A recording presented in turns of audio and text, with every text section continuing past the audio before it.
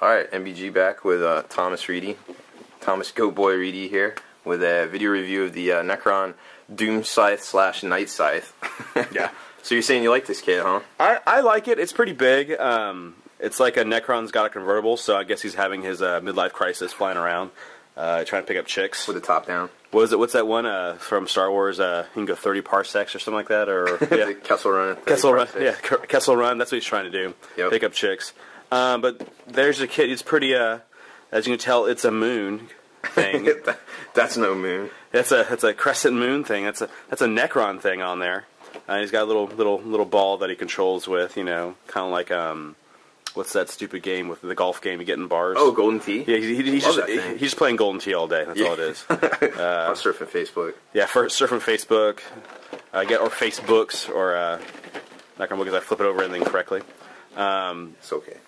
There's the back end of it. You can see it has some pictures on it. It has like you know those lovely Teslas, uh, and then with the Doom Doomy thingy.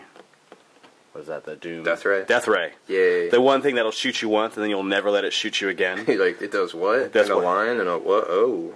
yeah. Then, then then you slap the guy, and you never let him shoot it again. Uh-uh. Um, you can see where it's little uh, Portal. little portal over there. Apparently there's two ways to assemble that.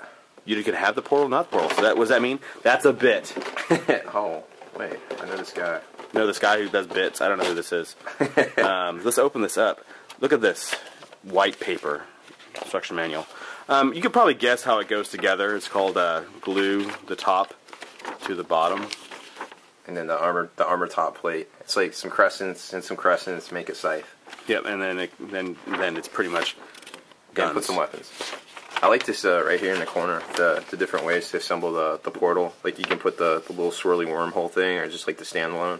That might be neat to like just set up. Just have a dude carrying around like a boombox or something. Oh yeah, and you can tell. I mean, it's it's probably of the kit is definitely the easiest of the kit. But uh, I mean, you got to think of this way: that this kit is a uh, as long as being a big flyer, it's also a troop transport. So you're probably going to see a lot of these. So making an easier kit, just like the Rhino takes no time to put together, same type of thing Snap with this. together yeah, almost. yeah, snap together it holds good. Except for the treads. Yeah, so, shoot, screw those treads. Yeah, Um. So look, look It's big. Look, it looks like a pretty big. yeah. It's it is not a small small Mm-hmm. little kit. Like this thing is not hiding. um, Unless you have floating terrain, that's exactly the the height size on it.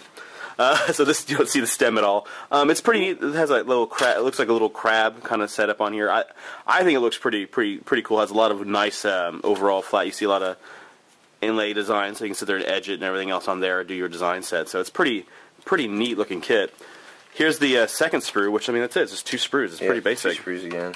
Again, like I said, you know, I see this as a um, what you call it uh, a troop transport. So you got to really limit the kind of setup on it. Look at those big guns. We all seen those before.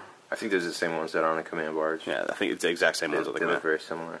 yeah, they look the exact same. Um, but yeah, that's the kind of kind of setup. You can see that little the little uh, swirl thing The Swirly. Which I mean, if you trim off this stuff, it could be like some kind of weird uh, chaos uh, warp gate thing, or um, Dark Eldar War Portal, warp portal starting a warp portal, some Orc Weirdboy thing. something like. I mean, lots of stuff. This is pretty neat. Like the eye stuff on there is Slow pretty. down a little bit. Like this eye thing right here is pretty neat. There's going to be a lot of way to do a lot of glow effect and everything else on there. Yep. Glow effect coming to you now, since you know whatever Necrons all glow. uh, and then How did they sneak up on us, sir? I don't know, sir. they just do. They just they turn it off. Yeah, that's what it is. Stealth mode. Yeah, stealth mode. Well, They, they get they turn on when they get near people because they get aroused because they got feelings now. No, it, yeah, it wouldn't be honorable if they if they turned it off and snuck up on people. They Yeah. have to declare rights of battle now. They Have to declare rights of battle. And I, I think it's because they get attracted to people. Since Oh, is that mess it? Yeah, so it's like a big robot thing. So it's like them getting aroused and glowy.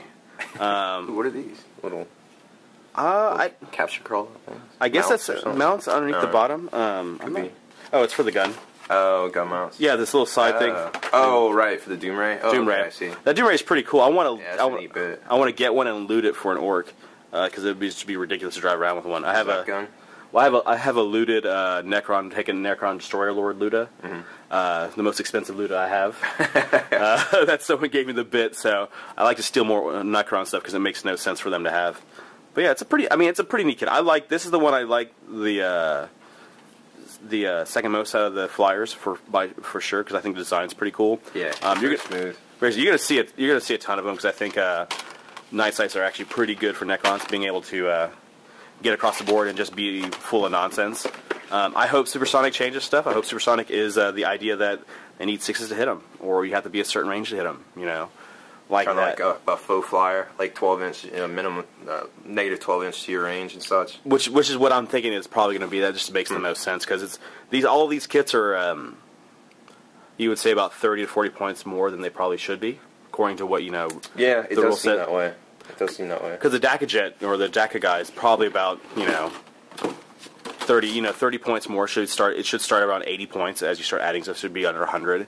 Um, the Storm Talon's about 30 points over high because you know it's it's a it's better than a um, a uh, land speeder, but still not as um, Copyright Not- 2011. yeah So 2011. they've had it for a little while at least. Oh yeah, you know they've had these kits for a while. Yeah. Well, it's like that one terrain piece they came out with like a couple years back, and the copyrights on it was like 2006. Like, oh, you've been holding on to that for a while. Um, I I hope so. I mean, like I said, I have high hopes for six. I think six is going to be uh, a nice, fun, different game. Uh, and by the sounds like these are hopefully going to nerf the crap out of uh, Grey Knights. We only got one minute left on the battery, so we got to sign off here. I'm MBG Rob Bear, and this is uh, This is Goatboy. thanks for watching our video, and uh, enjoy the new aerial assault weekend of flyers. Hey guys, MBG here with the uh, first look unboxing at the uh, the new Orc Bomber uh, with the three different kits inside, and we have a we have a special guest today. We have Thomas, aka Goat, Goatboy Reedy, the sweetheart of 40k here with us, and uh, this is his this is his favorite. So we're gonna let him talk a little bit about it. Hey, uh, this is the of, of all three kits. This is what would seem to be my favorite one. Uh, I feel you probably get a lot more out of it than a lot of the other ones because you got all three options in it. Um, as you see, the art's pretty cool in the back. Uh, it shows the get upside down. That's I think the uh, Burna-Bommer. I think right back here, or that's the burner. I don't remember. because you pick, you pick it up and you go like this. You're like, hey, I'm an American. Oh, there it is. You know what? I flipped the way I want to flip it. I do what I want. so let's open this up and look at it. Um, by far, it seems to be the one with the most sprues of all of them. It has three, which is pretty nuts. I mean, look at this. Look at that fuselage on there. It's pretty, pretty huge. Um, lots of interesting options all over it. Guns. Uh, every every option's in here. Uh, the interesting thing is, if you look at the wings, it is one set of wings, but they have uh, ways that you lock it in and it moves the wing, and so it can kind of completely change its shape, which is a pretty interesting uh, design set. It's something a lot more. Um, looks like on the CAD stuff, their design's getting really, really interesting on how they kind of build stuff out. But overall, I mean, the kit looks looks great, and look at how many bombs you have on there. Can't you see an orc just chunking that somewhere? I mean, that's that's really the best. Grot, grot carrying it. Yeah. I like these little missiles right here because it's a one solid missile piece, so it's not two pieces. So. There you go. yeah, so you can see it's like it's one uh, one solid uh, missile piece right over there, um, which would be great for uh, when you do tank busters or rocket boys because you can use that at the edge of a, a gun set. So I mean, overall, I find this kit to be, you know, actually a, a pretty pretty damn good value on it. So it's just just how much stuff is on here. Yeah, it's three Uh, solid screws or stuff. Three, I mean, three solid that you know whatever the price set on it. So that's actually really good. 50 or something. Yeah, so definitely, uh, definitely, I think it's um, a cool kit. Uh, you get a flight stand with it in base, amazing. Here, let's take a closer look Yeah. at some stuff here. This is, uh, here's the instructions. I try to show this sometimes. Uh, there's the three different variants of it, basically, so you can, and you can see, let's see, pull that up a little bit. All right, so there's the there's the piece that's gonna make that's gonna make your wings cantered, because you got your intake there, and then you got this uh, extra like uh, shooter shooter piece that isn't on these that makes it basically these go straight out, so you can change it there, and you got some different turret options. Um, so here's the uh, this right here is those pieces I was talking about that are gonna make your uh, gonna make your wings cantered a bit. Um, and then on this, these are these are actual wings right here, but there's these insert pieces which give it kind of a different profile right here at the top. And they're bomb racks for the for the missiles basically. So it breaks up the profile a little bit for the different different kinds of jets. Um, and there was what is it? Oh yeah, here's the. Uh, now this is this is kind of neat. This is the this is the piece that attaches to the fuselage. The wings attach to first. And if you notice, like they're pretty solid chunks. So you put these together, A and B, two halves, and then basically your wing, your wing attaches onto the top of that. Well, which would be the side. But what I'm thinking is, you know, you could cut these down, put them together, and put a wing on it, and basically attach it to anything orky. You know, like anything you want. You can make. You could put the two wings together and just make like a flying bomb or something. You know. So there's a lot of different opportunities with this kit, and a lot of different turrets and things. Here's the uh, here's the different glasses. Let's see. Let me see there. I don't know if you can see it in the camera, but there's a different uh, different glasses and things. Your uh, your bug screen one, and then you got your fully fully canopied, and then your turret. So I don't know. You got any other ideas about this kit? I, I like I said, I'm I'm planning on getting three, so I think uh, I, it was it was the best looking of the kit uh, from what I saw. It looked like it had a.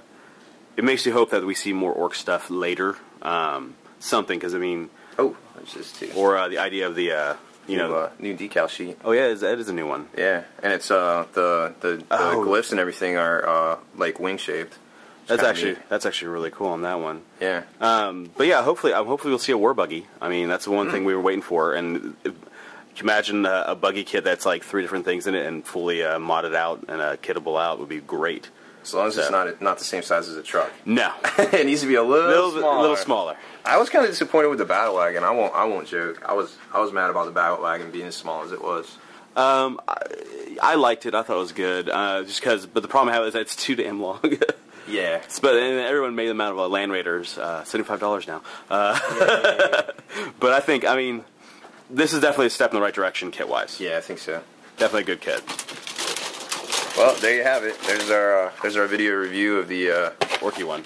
the new Orky Bomber, and uh, we'll get some other ones done here in a Ricky Tick and uh, get them on up for you. The Storm Talon and the Night Scythe. So I'm MBG Rob Bear, and Goatboy's right here, Sweetheart 40K.